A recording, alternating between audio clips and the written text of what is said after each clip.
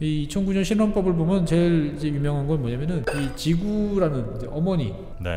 라는 것들을 이제 인정을 해줘요. 그러니까 지구의 생존 권리를 보장한다. 음. 어, 자연을 권리의 주체로 인정한다. 뭐 이런 문구들이 포함되어 있는 거예요. 라는 거죠. 헌법에 보장이 되어 네, 있어요. 헌법에 보장돼 있는 거예요. 실제로 이런 헌법이 나왔던 거는 원주민 투쟁의 결과예요. 52년까지는 원주민은 국가 운영에서 배제되고 어, 사람 취급을 못 받았어요. 최준영 박사와 함께하는 지구본 연구소 34번째 시간이 시작됐습니다. 반갑습니다. 정프로고요. 네, 이프로입니다. 김프로입니다. 네, 저희 3프로와 함께 또 최준영 박사님과 함께 전 세계를 특히나 못 가본 나라들을 주로 여행해보는 지구본 연구소 시간. 자, 오늘은 지난 시간에 이어서 볼리비아만 네. 또 가볼 것 같은데요. 오늘도 저희를 이끌어 주실 최준영 박사님, 어서 오십시오. 네, 안녕하세요. 최준영 박사님은 확실히 그 아, 매니아층이 이제 그러니까. 형성이 돼 버렸어요. 예, 그래서 우리 박사님 방송만 올라가면 무조건 음. 예, 듣고 보는 분들이 예, 지금 어마어마하게 많아요. 셰프로님 그 지구본 연구소만 보지 말고 그 오늘 아침 페이지 2나 퇴근길 페이지 2 좀 봐달라고 좀 말씀해 주세요. 아 셰프님이 직접 얘기를 해주세요. 우리 말은 나는 나는 나는 지구본 연구소만 본다고 그런 거예요. 예, 아, 그렇겠네, 그렇겠네. 예, 우리 말은 안 들어요. 그러니까 그냥 최준영 이걸 검색하는 것 같아요. 그게 3% TV든 뭐 5% TV든 관계없이 그냥 최준영만. 아, 왜 그러십니까? 검색해서. 하여튼 어마어마한 팬덤의 주인공 우리 신과 함께 아이돌 우리 최준영 박사님과 함께 네. 오늘도 지난 시간에 이어서 이제 볼리비아를 가는 거죠? 네, 볼리비아 가는데 이제 지난 시간에 이제 볼리비아 뭐 이런저런 이야기 했는데 유유니 사막 뭐 이야기하고 네네네. 뭐 리튬 뭐 그렇죠. 이야기하고 네. 그래서 막판에 이제 리튬과 배터리 이야기를 했더니 이제 김프로님께서 그아 2차 전지 너무 건드리지 마세요 뭐 이제 이렇게 말씀을 네. 하셨는데 지금 아니, 저는 그 투자자 2차 전지, 보호를- 2차 전지 테마주 투자한 분들 투자자 보호를 위해서 항상 최 박사 말씀드리는 그렇게 안. 맞는데 또 달립니다. 정 박사님 참 그리고 막상 배터리가 어떻게 되는지 뭐 리튬에 대해서 조금 더 이야기를 해볼까. 네. 그다음에 음. 이제 배터리 이야기를 하다 보면 또 빼- 빠지지 않고 등장하는 게 이제 우리 테슬라 자동차 네. 뭐 이야기도 있고 그래서 잠깐만 한번 그 이야기를 좀 하고 넘어가면 그러죠. 어떻겠나. 네. 잠시 과학 시간으로 어. 어, 전환을 시켜보겠습니다. 배터리라고 하면 이제 가장 우리 기본적으로 이제 건전지 생각을 건전지. 먼저 그렇죠. 예. 많이 하게 되죠. 예. 건전지 이렇게 예전에 어릴 때 까보면 까보면 까만색. 예, 까만색 예. 뭐가 들어 있고 예, 그 까만 게 이제 망간이죠, 망간. 아 망간이 망간이요? 예, 망간이에요. 아, 보면은. 양극의 망간, 음극의 이제 아연. 그래가지고 이제 망간 전지라고 보통 부르죠. 네. 이제 한 번 쓰면은 이제 더 이상 충전이 안 되는 전지를 이제 1차 전지 이렇게 부르는데 네. 이제 대부분 망간이었다가 2차 전지 우리가 흔히 말하는 충전식 전지라는 게 이제 니켈 네. 원래는 니켈을 많이 썼어요. 그래서 옛날 1990년대, 80년대 후반, 90년대 소니 워크맨 들고 다니시던 분들은 네. 이제 그 껍딱지라고 보통 부르는 껌처럼 생긴 니카드 전지가 예, 있어요. 니카드, 예, 니켈 니켈 카드뮴 전지라고 하는 거 정말 신기했죠 어. 보면은 그 전에는 맨날 그 배터리 감아서 이렇게 볼펜 끝에 담아가지고 네. 이게 돌리다가 그래서 어쨌거나 이제 니켈 카드뮴 니켈 카드뮴이라는 이 전지가 네. 그래서 사람들한테 아 충전을 하는 전지가 있구나 어, 꼭 납축 전지 자동차 배터리 말고도 이렇게 음. 작게 만들 수 있다라는 걸 알려줬고 그러다가 이제 니켈 수소 전지가 이제 나왔죠 니켈, 니켈 수소 수소. 예 그래서 니켈 수소 전지가 이제 사실은 그 작은 네. 그 원통형 전지 이런 충전들도 음. 많이 이제 나오는 거죠 보면 그리고 이제 하이브리드 자동차에도 음. 이제 들어가는 이제 원료인데 그러면 리튬은 도대체 왜 남았냐 보면은 그러니까 이 리튬이라는 물질이 이온을 방출하거나 이런 원리로 보면은 상당히 좋아요 보면은 그러니까 전지, 건전지를 만들기 이 전지를 만들기 좋은 물질인데 네. 이게 쉽지가 않았던 거죠 이 리- 리튬이라는 물건은 우리가 맨날 들고 다니죠 지금 갖고 다니, 갖고 계시는 핸드폰 아, 어, 음, 뭐 이런 그거 전부 다, 다다 리튬이잖아요 배터리 들어가 있는 이거 건 다. 사실은 다 폭발물입니다 아 그래서 가끔씩 가끔 터지잖아요. 예전에 거예요. 그 삼성 갤럭시 노트 7 네. 한번 났었잖아요. 2016년도 말. 이 리튬 전지의 가장 큰 단점은 폭발. 그러니까 특히나 이제 뭐 못으로 이렇게 부순다든지 음. 압력을 가한다든지 물을 붓는다든지 이게 노출된 상태에서 그러면 폭발해요. 그러니까 폭발하듯이 연소가 바로 연소가 벌어지는데 현재까지는 끌 방법이 없습니다. 끌 방법이 없어요. 네, 한 번 불이 나면 끌 방법이 없어요. 다탈 때까지 다 기다려요. 탔다가 기다리는 거예요. 아, 그래서 그래요? 이제 가끔 ESS라고 그러죠. 이제 에너- 에너지 저장 아, 장치 네. ESS 불나가지고 이제 막 했었잖아요. 네. 그러면 끌 방법이 없어요. 그냥 아, 주변에? 주변에 이제 불이 번지지 않도록만 아, 치워야 돼요? 아니, 예. 소화기 막 뿌려도 안 돼요? 안 돼요. 어. 워낙 그게 발화가 자체 잘 자체적으로 이제 발화 발화하기 때문에 현재로서는 끌 방법이 없어요. 보면은. 그러니까 상당히 이제 위험한 이제 물건이죠 보면은. 근데 이제 왜 이렇게 많이 위험한- 쓰는 거예요? 근데 위험하기 때문에 사실은 우리가 전투기 같은 경우도 1차 세계대전 때 나왔던 전투기들은 너무나 안정성이 있기 때문에 음, 음, 음. 손을 놓고 뭔가 고장이 나도 잘 활강을 합니다 보면은. 근데 음. 요즘 나오는 전투기들은 뭔가 이제 전기가 딱 끊어졌다. 그럼 그 순간 돌멩이처럼 떨어져요.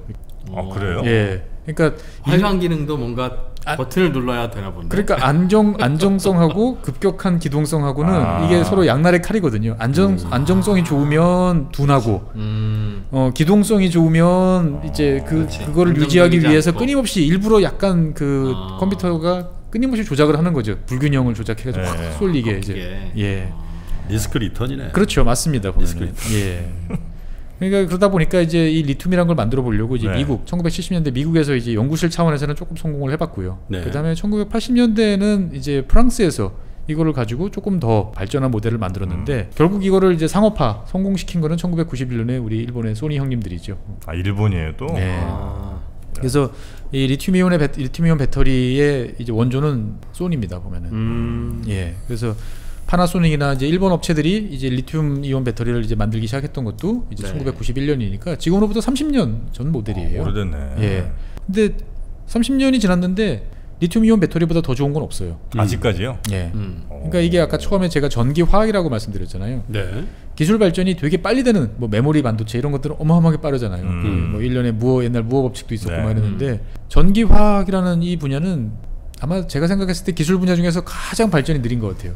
새로운 물질을 발견하기 전에는 답이 안 나. 답이 안 나오는 거예요. 보면은. 그러다 보니까 이게 매우 느린 거예요.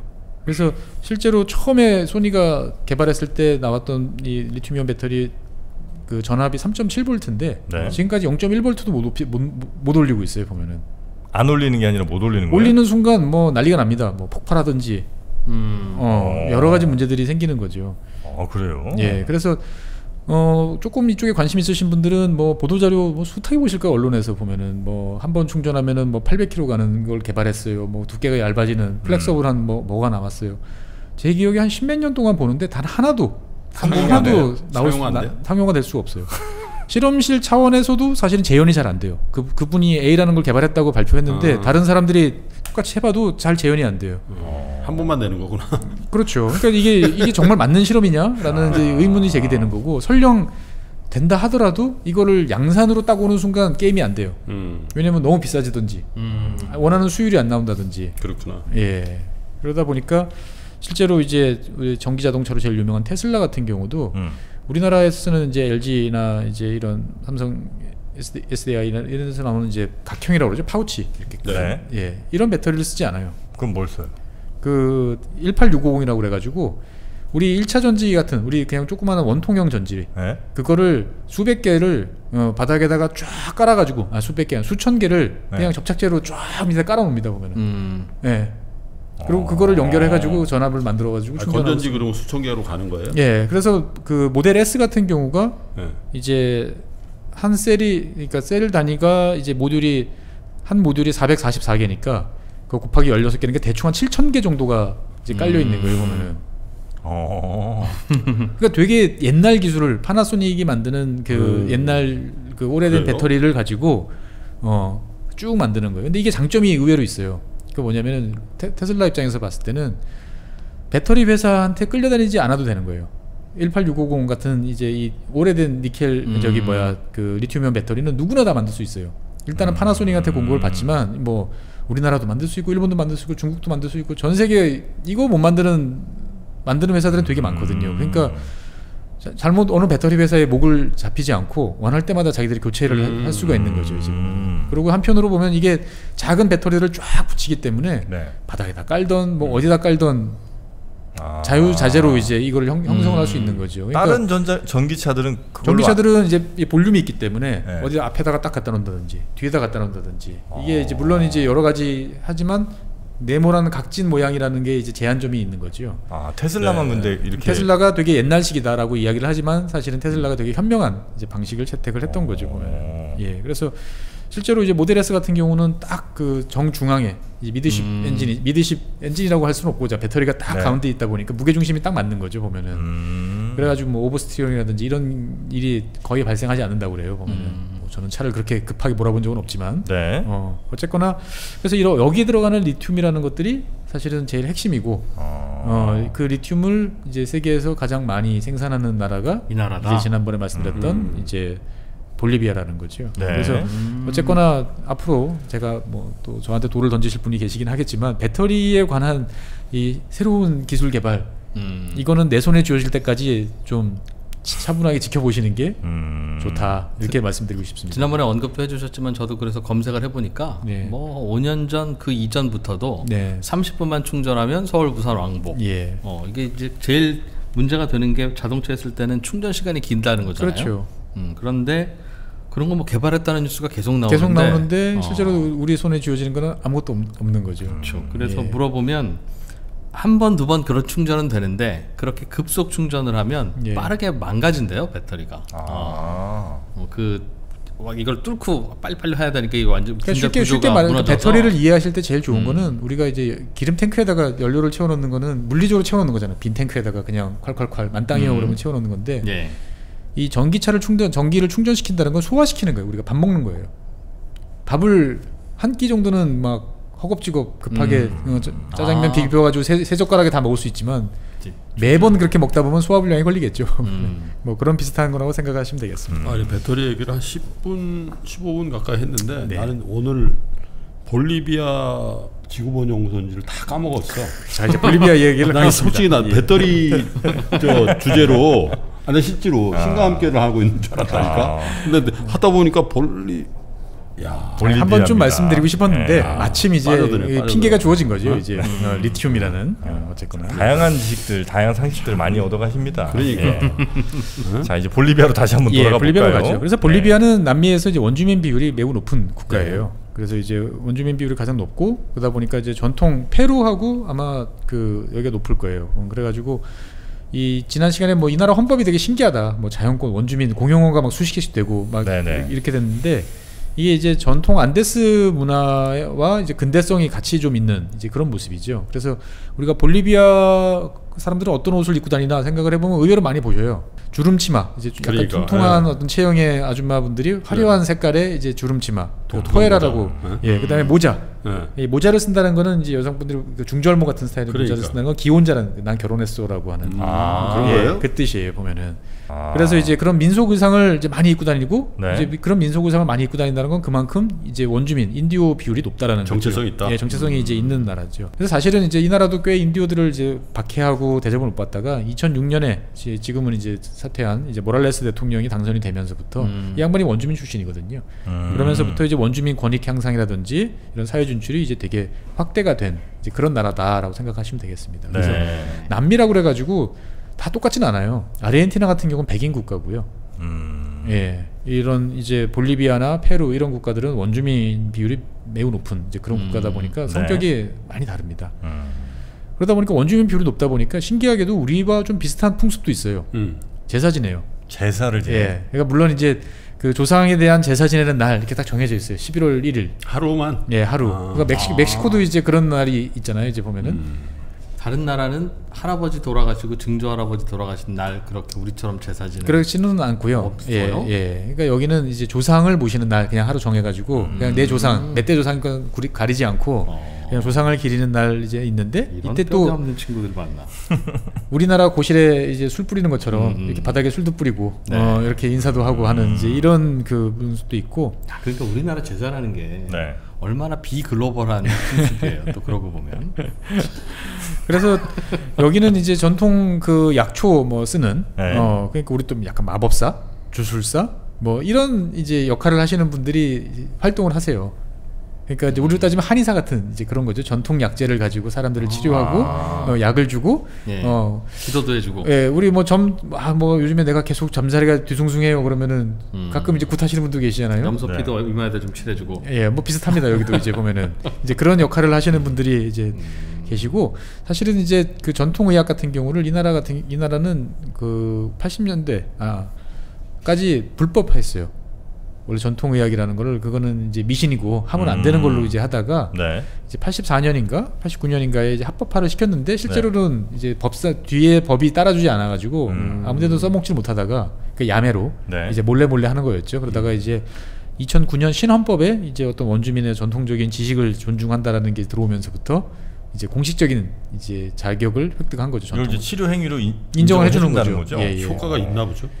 뭐 어떻든 간에 있을 수 있는 거죠. 우리도 굿한 다음서부터 아 이제 잠도 잘 오고 어, 좋아진다고 하시는 분도 계시고. 음. 그쪽도 뭐 천연. 허브 같은 걸로 네. 이렇게 상처나무 이렇게 해가지고 하는 거는 뭐 합법화할 수 있을 것 같은데 굿하고 예. 뭐 심, 심령술사가 뭐 어, 어, 하는 거를 뭐 합법화했을 것 같지 않고 그러니까 이제 여기는 역할이 다 있어요. 이제 그래서 칼라와야라고 그래가지고 네. 이말 그대로 약초 치료사, 네. 어, 약초를 어, 그러니까 즙을 그거는 내거든지 뭐, 뭐, 어. 연기를 내서 이제 마시게 한다든지 하는 약초 네. 치료사도 있고요.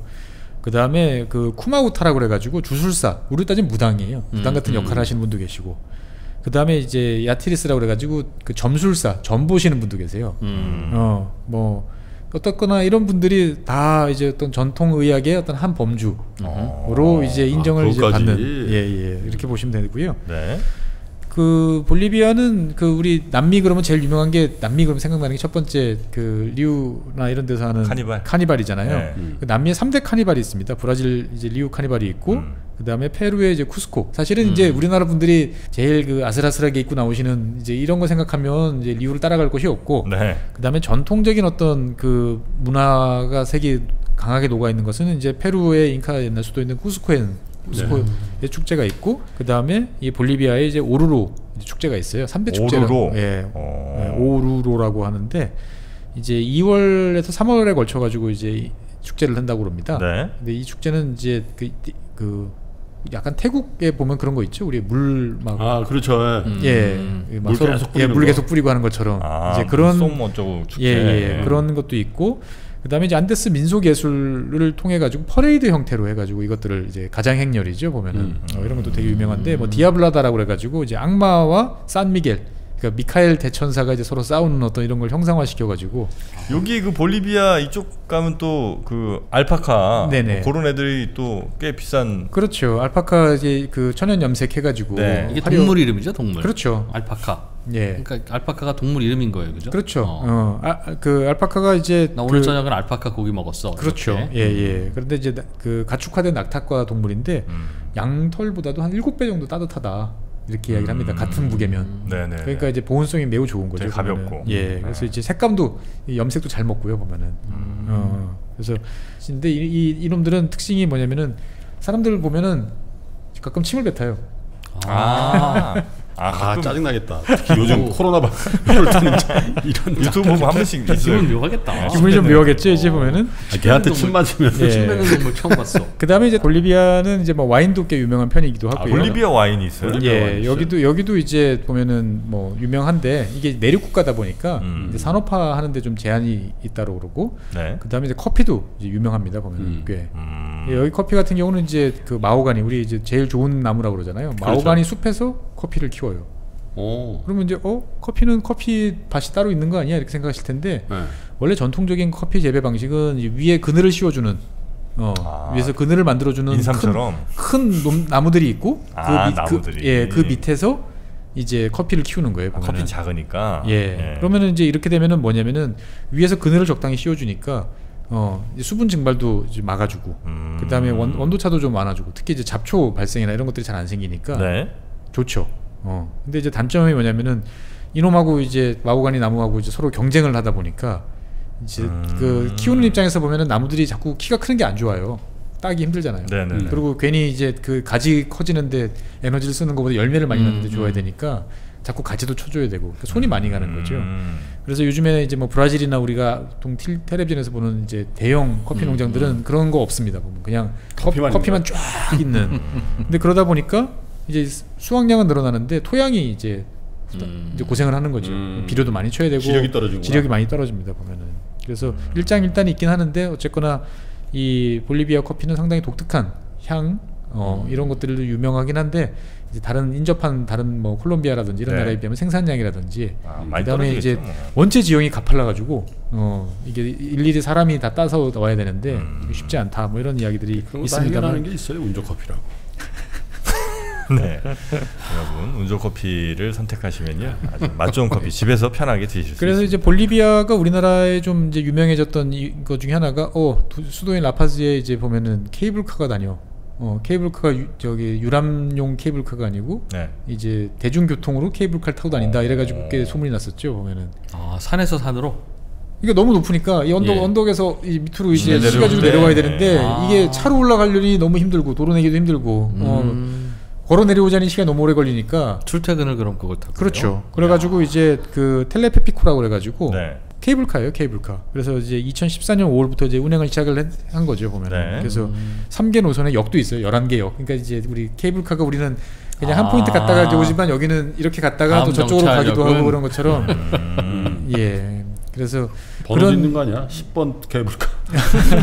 그런 이미지로 우리나라에서는 꽤 소개되기도 했었는데 이분들한테는 소중한 이제 그런 경험인 거죠. 네네네. 그래서 저기 어디죠? 이탈리아의 그 나폴리 앞에 무슨 섬입니까? 그 저기 카프리. 카프리섬. 예, 예. 거기도 보면은 이런 케이블카들이 있죠. 이제 보면은 주민들도 타고 다니고 이제 보면은 아. 너무 경사가 급하니까 사실은 제일 가로질러 올라갈 수 있으니까 편하긴 하죠. 보면. 그게 저는 관광객용인 줄 알았더니 주민들도 이용하는군요. 네네. 사실 그 급경사 지역에서는 뭐 우리나라도 이제 요즘에 보면은 경사형 뭐 엘리베이터, 음. 그 다음에 이제 에스컬레이터 이런 걸 놓죠 이제 보면은. 그 스위스가도 많이 있잖아요. 예, 예. 근데 이제. 어떻게 보면 제일 근본적인 해결이 이제 케이블카죠 이제 보면은. 네. 예. 그래서 이 볼리비아는 어쨌거나 어 상당히 열악한 환경에서 이제 고생을 하- 하다가 2000년대 이후 들어서 많이 좋아졌어요. 그래서 아동 사망률도 뭐 80명 선에서 그러니까 1000명당 80명 선에서 39명으로. 음. 그다음에 이제 깨끗한 식수를 마실 수 있는 사람도 전체 인구의 78% 수준에서 이제 한 90%까지 이제 올라가고 음. 네. 음. 문맹률도 한 12%에서 4%까지 이제 낮아지고 네. 그러니까 주로 이제 원주민 분들에 대한 이제 투자나 교육 뭐 이런 것들이 이제 좋아지면서 많이 가고요. 이 나라도 재밌는 게 의외로 교육은 고등학교까지가 의무 교육이에요. 어. 근데 의무 교육인데 학교를 안 가요. 그 의무가 아니잖아요. 그러니까, 그러니까 되게 이제 웃기는 거죠. 그래가지고 아 동 노동, 그러니까 만 5세부터 17세까지 아동 노동 비율이 이제 한 25% 가까이. 어유. 음. 그러니까 뭘 시켜요? 농, 농, 농업. 그러니까 농업 주로 이제 농업도 음. 있고요. 그다음에 이제 뭐 여러 가지 이제 그 빨리 돈을 벌어라 이제 이런 것 때문에 학교를 안 가서 그게 상당히 이제 고민이라고 합니다 보면. 음. 그래서 이 나라는 정치적으로도 보면 재밌어요. 재밌는 게 뭐냐면은 대통령 중심제. 네. 임기 5년 5년입니다 보면은 임기 5년인데 보통 그러면 이제 결선 투표다. 음. 그러면 우리가 국민들이 두 편을 뽑잖아요. 여기는 국민들은 한 번만 뽑아요. 첫 번째 자 후보들이 다섯 명이 나왔다, 열 명이 네. 나왔다 그러면 뽑습니다. 그럼 상위 1, 2위를 한 번 더 하는 게 결승. 그래서 첫 번째에서 국민들이 뽑아가지고 이제 과반 넘으면 과반이 넘으면 그걸로 그- 인정. 음. 근데 만약에 거기서 안 나왔다. 네. 그러면 두 번째 이제 결선 투표는 누구냐면은 상하원에서 뽑아요. 국회의원들이 뽑아요. 음. 음. 야, 그것도 독특하다. 예, 상당히 독특하죠 이제 보면은. 음. 음, 아마 전체 국민들한테 그걸 똑같이 다 한번 하는 게 워낙 아, 힘든 워낙 일이니까. 예. 힘든 일이기 때문에 어차피 이제 우리 국민을 대표하는 사람들이 한번더 네. 뽑는 사실 이것도 나쁘지 않은 것 같다는 생각도 들기도 하고 근데 상하원은 이미 구성이 돼 있는 이미 거지. 구성이 되어 예. 누구 편이 정해져 있을 거야. 그렇죠. 다수당의 저, 저 과반수 못 넘으면 다수당이 이긴다고 봐야 돼. 그렇죠. 예, 그렇게 볼수 있는 거죠. 여당 예. 프리미엄이 있는 거네. 확실히 있는 거네. 예. 2등 안에만 들면 내가 되는 거네. 예.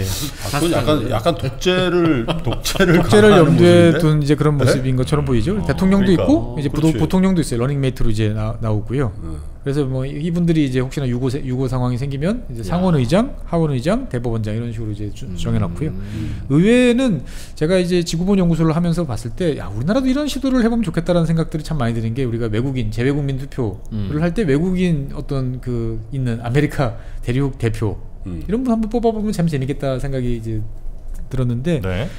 여기 같은 경우도 이제 사- 양원제입니다. 상하원 이제 5년씩 여기도 5년이 5년인데 상원은 36분인데 음. 9개 주에서 4명씩 뽑습니다. 그러니까 네. 1, 2, 3, 4등 이제 나오는 거고 하원이 이제 보면 130명인데 지역에서 63, 그다음에 비례가 60. 그럼 합해서 이제 123 이니까 7, 7이 남는데 7은 별도로 원주민 쿼터와 농민 쿼터가 따로 있어요. 그래서 이분들 사이에서 대표를 뽑는 거죠. 이제 보면은 별도 선거구가 있습니다. 네.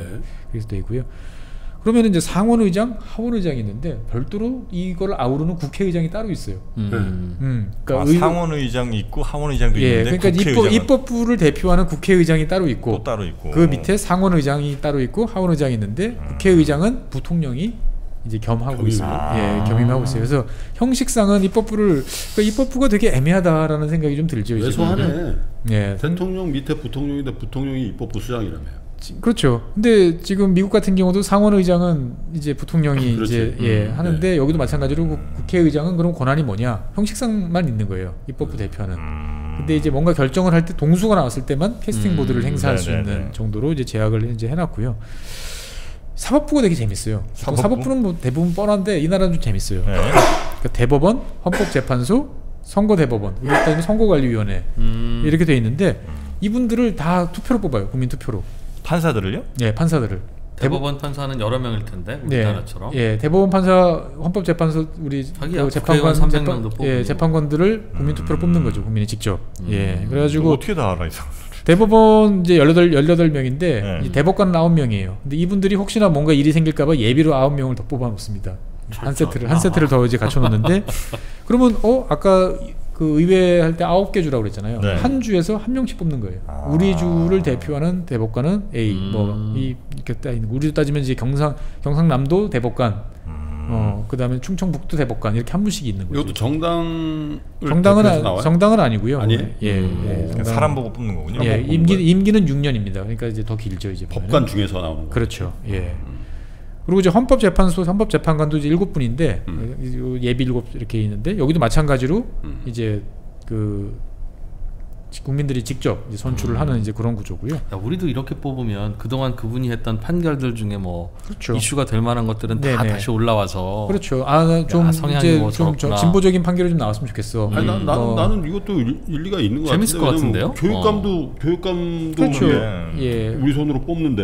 그러니까 뭐 아니 대법관이라는 게 얼마나 중요한 그렇죠. 거예요? 그러니까 이제 이거를 뭐, 뭐 나쁘다 좋다를 딴, 떠나서 음. 국민이 그래 선출할 수 있다라는 생각은 한 번쯤 해보는 것도 그러니까. 어. 한 반반씩이라도 네. 어 그러니까 이제 대법원장이라든지 기존의 법조계에서 임명하시는 분한 음. 절반 그 다음에 뭐 한 3분의 1, 그 다음에 이제 국회에서 뭐 이제 추천해가지고 가시는 분은 한 3분의 1. 국민이 직접 뽑는 일정 수준은 한번 해볼 만한 근데 또 그럴 수는 있겠네요. 이게 뭔가 법에 의해서 뭔가를 하는 게 아니라 네. 내 인기를 위한 판결을 이제 자꾸 한다든지.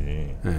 그래서 좀 그렇죠. 그런 리스크는 네, 있죠. 근데 이제 뭐 미국도 생각해 보면 검찰 검- 주 검찰총장 이런 사람들 아니, 다. 투표로 뽑지 않습니까? 투표로 이제. 보면은 음. 예, 그러니까 주민이 선출하지 않은 사람한테 권력을 줄 수 없다. 음. 어 이렇게 생각할 수도 있는 거죠. 어쨌거나 이 새로운 신헌법을 이제 보고 있으면은 네. 되게 재밌습니다 보면은. 그러니까 그 자기네나 마- 말로 하면은 이제 다국민 헌법이라고 이제 부르는데 네. 각 주, 지역, 원주민의 자율과 자치권을 철저하게 보장해주는 음.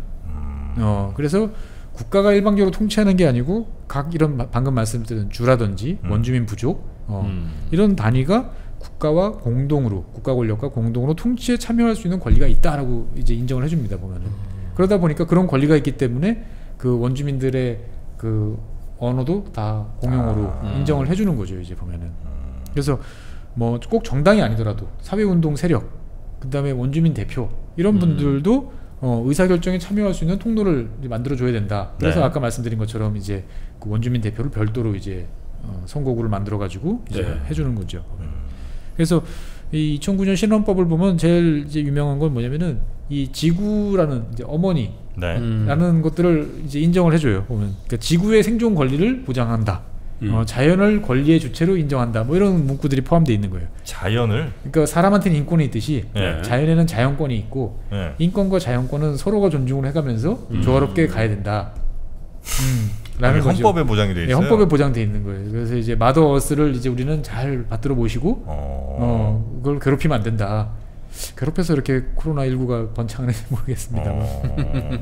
아, 그런 거 헌법에 보장하는 나라도 참 진짜 독특하긴 예, 하네요. 독특하죠. 그러니까 이걸 웃고 넘어가면 되게 그냥 웃고 넘어갈 일인데 음. 곰곰 생각해 보면 우리도 어느 순간부터 이제 동물권 음. 이런 것들을 되게 존중하고 뭘 해야 된다고 하잖아요. 그래서 음. 이제 가축을 키울 때도 가축의 어떤 여러 가지 권리를 챙기도록 네, 우리나라 네. 법에서도 이제 동물보호법에 보면 다 있고 점점 강해지는 것처럼 음. 생각해 보면 볼리비아란 나라가 되게 못 살고 뭐 어떻게 보면 좀 이상한 나라라고 생각할지 모르겠지만 한편으로 보면 자기네들이 생각했던 자기네들의 가치관을 헌법에다가 네. 잘 녹여냈다. 어. 이제 이렇게 볼 수도 있는 거죠, 이제 보면은. 보통 환경 많이 생각하는 나라들 뭐 북 유럽들 많이 예, 생각을 예. 하는데 오히려 볼리비아 같은 데가 상당히 이제 급, 헌법에까지 예. 급진적으로 물론 이제 이걸 잘 뜯어 보면은 권력 구조가 이제 좀 이제 편중되고 장난치기 좋게 만들어놨다 이제 이런 이제 비난도 이제 받을 수 있는 이제 이런 면들도 있긴 하겠지만 네. 어쨌거나 우리가 생각했던 헌법하고는 상당히 다른 어, 그 사회가 있는 가치관을 이제 잘 녹여낸 이제 네. 그런 동네라고 이제 볼 수도 있습니다 헌법을. 음. 그래서 실제로 이런 헌법이 나왔던 거는 원주민 투쟁의 결과예요. 52년까지는 원주민은 국가 운영에서 배제되고 어, 사람 취급을 못 받았어요. 그거는. 원주민 비율이 그렇게 높은데. 높은데도 예 그러다 보니까 이제 52년에 결국 이제 혁명이 음. 이제 발생을 해서 이제 사실 볼리비아가 되게 독특합니다. 그 당시부터 이제 광산을 국유화하고 네. 군대를 해산하고 민병대로 대체를 해버리고 왜냐면 이제 그 군대라는 게 국민을 탄압하는 수단으로 음. 인정이 되다 보니까 네. 민병대는 뭐예요? 그럼? 민병대는 다 총 나눠주는 거죠 이제 다. 음, 전 국민한테? 그렇죠. 아, 미, 우리- 미니트맨이죠 미니트맨. 아, 어, 그러니까 미국 특별하게- 미국 예 미국이라는 게 미국이란 나라가 사실은 상비군이 없었어요 꽤 오랫동안. 음. 어 문제가 생기면 집집마다 차- 총 들고 나와서 우리 동네 우리 고향 우리 가족은 내가 지킨다. 음. 어 그리고 전쟁이 끝나면 총을 다 벽에 걸어놓고 다시 농사지러 간다. 이게 이제 민병대죠 이제 보면은. 상비군이 없는. 예. 이제 그런 구조로 가다가 지금 다시 이제 군대가 이제 다시 생기긴 했습니다만 네. 어쨌거나 이제 94년부터 이제 그러니까 52년 혁명을 일으켰지만 혁명이 있었지만 그 이후로 사실 원주민 권리는 제대로 보장이 안 돼, 음. 안 네. 돼가지고 꾸준히 투쟁을 하다가 이제 94년에 한 번 원주민 권- 권한이 더 강화됐고 네. 결국은 이제 2000년대부터 더 원주민들이 이제 본격적으로 음. 이제 여러 가지 시위 활동들이나 저항 활동을 하면서 음.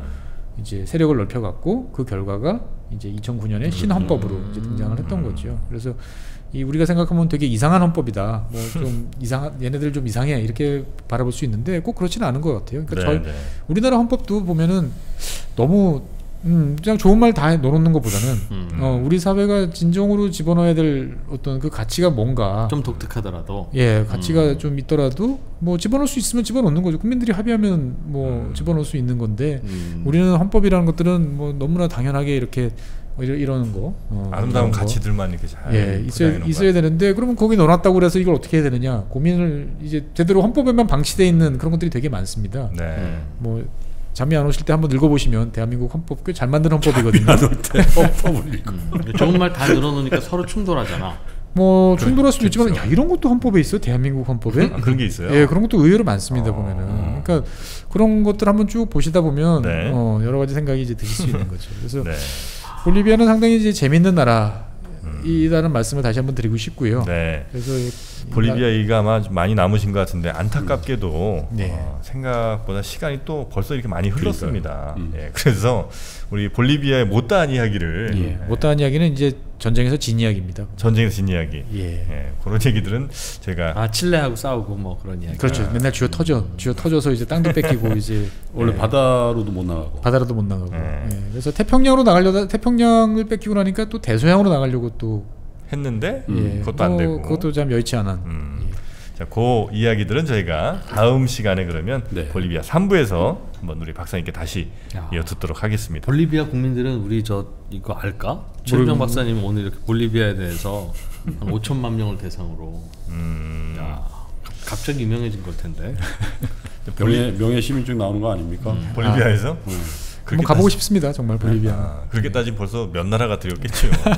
아프리카 그때 얼마 많이 하셨는데. 자, 하여튼 오늘 이 볼리비아에 관련된 재미있는 이야기 또 해주신 네. 우리 법무법인 율촌의 최준영 박사님 대단히 고맙습니다. 네, 고맙습니다. 감사합니다.